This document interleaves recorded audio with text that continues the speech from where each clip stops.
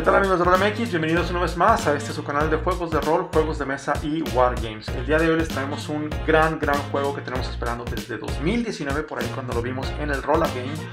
Y es un juego que nos encantó desde el momento en que lo vimos. Es un juego de tipo competitivo, de administración de recursos, pero que trae un componente muy bueno porque diversifica mucho el estilo de los juegos de mesa. Y este es el componente artístico de artes gráficas, como lo son los tatuajes. En este juego tú representas a un tatuador profesional, el cual pues trabaja junto con otros tatuadores para ver quién es el mejor tatuador del lugar. Y es un juego bastante, bastante padre. Es un juego con mucho talento mexicano. Como, podrá, como veremos más adelante, tiene un arte gráfica indiscutible y pues una calidad internacional competitiva. Así que la verdad es un juego que vale mucho la pena apoyar de nuestros amigos de Gaming Hall. Vamos ya sin más preámbulos a ver de qué se trata este juegazazazo. Vamos para allá. Pues bien, aquí estamos con Tattoo Brawl. No Paint, No Game, como lo indica aquí la caja. Como podrán ver, es una excelente caja, tiene muy, muy buen arte, se ve muy robusto, eh, muy fuerte, de nuestros amigos de Gaming Hall. Un juego con mucho, mucho talento mexicano. Vamos viendo qué tiene adentro. Este es el manual, es un manual bastante pequeño, bastante sencillo, lo cual muestra que las reglas son realmente sencillas de, de aprender, no requiere eh, más que un juego de prueba, nada más para que te pongas eh, pues un poquito en, sintonía con lo que es el manejo de, los tatuajes. Es algo bastante sencillo, es muy intuitivo. Y pues aquí el manual te muestra pues todo lo que contiene el juego, lo que trae la caja, la distribución de cada una de las piezas, lo que significa cada una de, las secciones del, tanto del tablero de juego como de las cartas. Y en fin, cómo es básicamente la el juego en general. Es muy muy sencillo. Vean esta, esta parte, quiero que vean primero estos que son las fichas de los tatuajes. Es, es algo que a mí me, llama muchísimo la atención, una de las cosas que más nos gustó de este juego.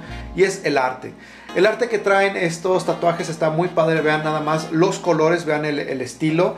El, este tigre de Bengala, vean los colores de, de los diferentes eh, tipos de tatuajes. La verdad, los trazos están muy bien. Y pues por supuesto, tiene que haber una calaverita del Día de Muertos. Si no, no sería eh, un juego con talento mexicano. Y pues vean, hay diferentes modelos, diferentes estilos. Estilos japoneses, estilos de eh, caricatura, estilos clásicos, estilos tribales. Eh, inclusive hay de, letras que son este, en una sola tinta. Como podrán ver, son eh, pues las clásicas eh, eh, letras estilo gótico. Los trazos están bastante, bastante muy bien hechos estos, estos dibujos. Una de las cosas de las cualidades más grandes que tiene este juego. Y pues bueno, verán, el, el, juego también se juega con unas cartas, por supuesto, que es un deck que vas tomando en estas cartitas que vemos aquí.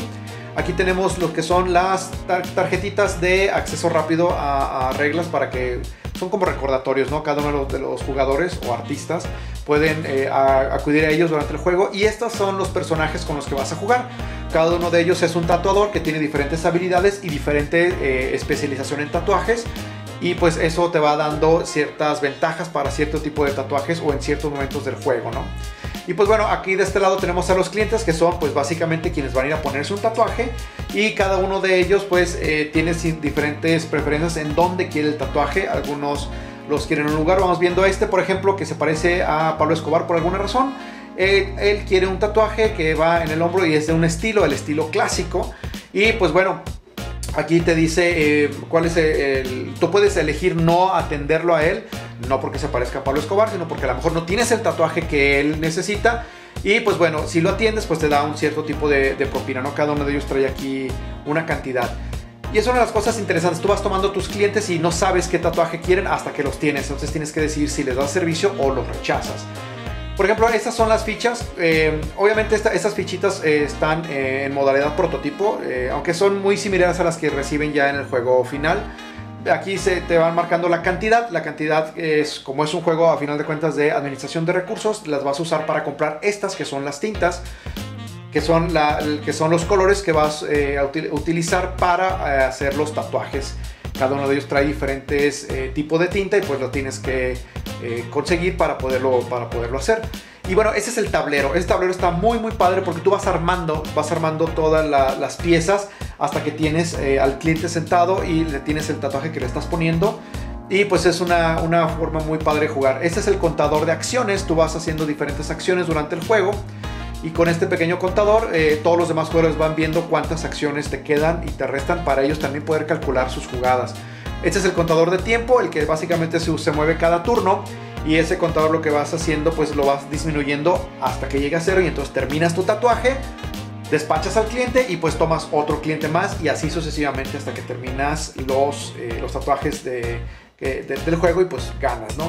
Aquí, por ejemplo, pones a tu jugador, lo, ensamblas, ensamblas a tu, a tu, personaje y aquí ya te dice cuáles tatuajes eh, es especialista y en dónde. Eh, más bien en qué lugar es especialista en los tatuajes. Y el cliente puede estar en la sala de espera o puede estar ya directamente sobre la silla. Tú lo puedes poner a que espere eh, mientras atiendes a otro o simplemente lo pasas de forma directa y lo sientas para hacerle su tatuaje feliz, de Bob. Entonces, es, es un tablero que se va ensamblando, es una, una parte muy padre. En la parte de arriba tú vas colocando lo que viene a ser pues tu catálogo ¿no? de tatuajes, lo que, lo que todo tatuador tiene. Algunos de esos tatuajes, como, como mecánica del juego, no los puedes estar eh, viendo, están boca abajo, están ocultos de otros jugadores y de ti también, para darle un poquito de... Eh, eh, pues emoción al juego, ¿no? Aquí es donde tú ensamblas un tatuaje que le vas a poner que, al cliente que corresponde con lo que él quiere y pues una vez que ya tienes el tatuaje, pues puedes comenzar a aplicarlo. Y para ello, obviamente, necesitas un material y ese material es el recurso que tienes que estar administrando, que es la tinta. La tinta tú obtienes una parte de la tinta al inicio del juego, dependiendo de cuántos jugadores sean, y las vas colocando en esta parte, los, la ensamblas en lo que viene a ser pues eh, la, tu vitrina o tu alijo de tinta, como le quieras llamar. Esa tinta eh, la vas separando en colores primarios y, colores pues ya más compuestos, que algunos son más, más complicados que se pueden armar obviamente eh, mediante la combinación de colores primarios.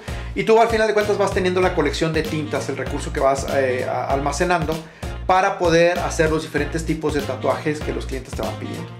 Una vez que tienes las tintas listas, que tú ya las adquiriste, vas colocándolas en lo que son pues tus, tus maquinitas, de maquinitas de, eh, tatuadoras.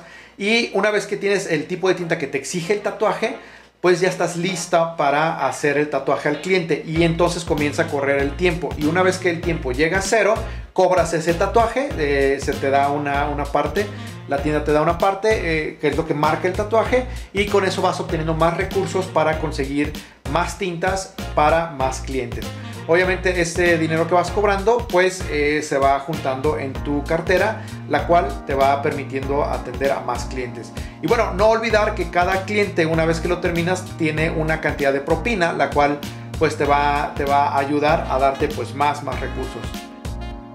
Como podrán ver, este juego tiene también una adición que es la maquinita tatuadora. Está bastante padre. Tú vas ensamblando y esta maquinita la vas rentando eh, cada jugador la puede adquirir y esa maquinita lo que hace es te reduce un turno el tiempo que tardas en, tatuar, es decir, tatúas más rápido.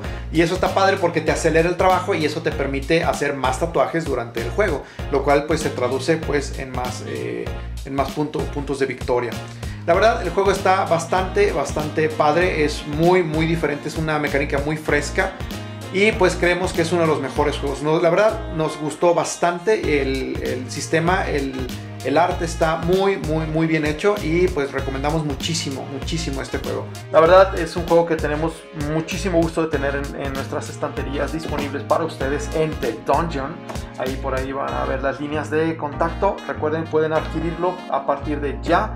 Tuvimos por ahí la presentación eh, oficial el 20 de septiembre. Está disponible para que ustedes puedan ir a ver el juego, vean de qué se trata y pues se lleven una copia o dos o diez o cincuenta la verdad es un obligado para todas las ludotecas. Es un juego que trae mucha frescura y lo más importante tiene muchísimo talento mexicano, talento de verdad, talento de talla internacional. Hay que apoyarlos, hay que jugar Tattoo Brawl. Es un juego que la verdad les prometemos que les va a llevar muchísimas, muchísimas horas de diversión y probablemente alguno que otro rompimiento sentimental, pero eso no importa. Lo importante es tatuar gente, creo. Así que gracias por estar con nosotros una vez más. Nos vemos en la siguiente reseña. Esperemos que les haya gustado. Hasta la próxima.